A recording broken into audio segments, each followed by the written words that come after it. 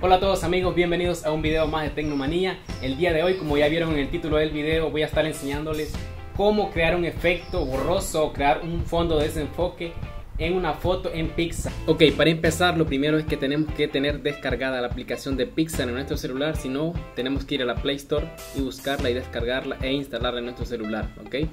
Luego lo que vamos a hacer es desactivar el internet ya que si nosotros no desactivamos el internet vamos a tener problemas con publicidad al momento de que abramos la aplicación. Como vemos nos sale mucha publicidad.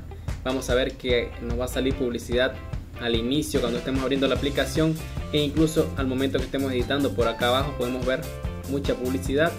Y entonces eso nos va a molestar al momento que estemos editando. Así que lo que vamos a hacer es que vamos a desactivar el internet ya sea wifi o sean datos lo que tengamos vamos a desactivarlo vamos a volver a ingresar a la aplicación. Luego vamos a dar clic en el botón de más ese que está aquí abajo. Ahora vamos a elegir la foto o la imagen que nosotros vayamos a editar. Y luego vamos a irnos a la parte que dice FX que son efectos. Aquí en efectos vamos a escoger el que dice borroso.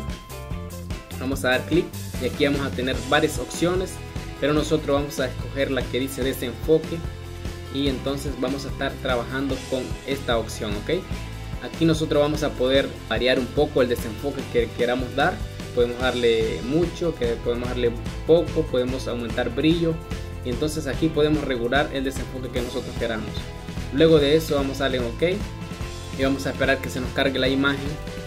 Y aquí usando dos dedos vamos a poder ampliar y mover la imagen ok así que ahora vamos a dar clic aquí donde está el borrador.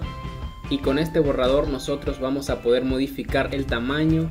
Vamos a poder modificar la opacidad pero la opacidad la vamos a dar al 100% y la dureza también acá abajo.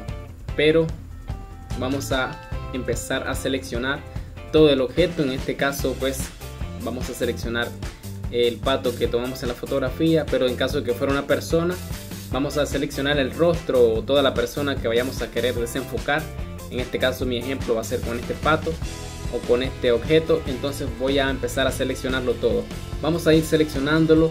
No importa que nos pasemos. Si nos pasamos o seleccionamos más de la cuenta pues podemos tocar el pincel que tenemos aquí a la par del borrador.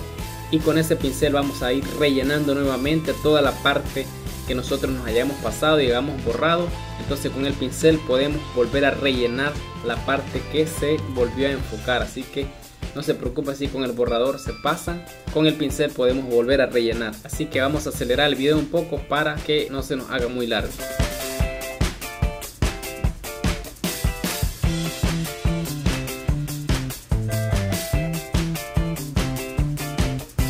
Ok, cuando ya la hayamos seleccionado todo, vamos a dar clic aquí en esta flechita que tenemos por acá para que ya quede lista la imagen y luego dar en esta otra flechita que está acá. Ahora vamos a dar clic en guardar y luego nuevamente en guardar.